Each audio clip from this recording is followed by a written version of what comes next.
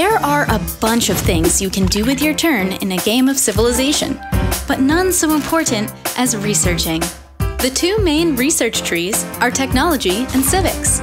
Each tree unlocks bonuses that will strengthen your civilization in different ways. Depending on which tech or civic you research, you'll set your civ on a different path to victory. But we'll cover those next time.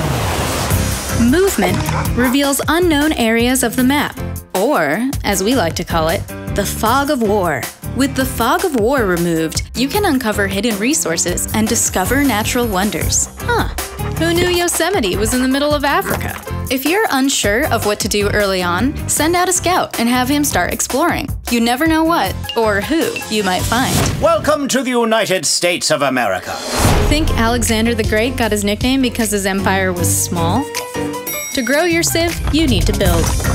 That means new buildings, new units, and new city districts.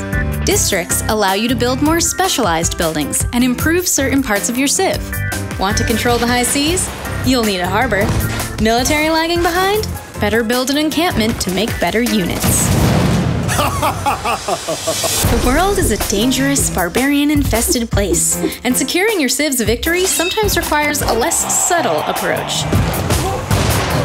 If an eye for an eye is your motto, attacking enemies strategically is critical to your success. We hereby declare war. But if the fist has failed, then why not try a shoulder rub? Use diplomacy or schmooze your neighboring civs to get yourself a trading partner. Not everyone will like you right away, so get to know the other leaders and their unique agendas. This will help you figure out the best way to win them over or topple them over. ¿Por qué, señor?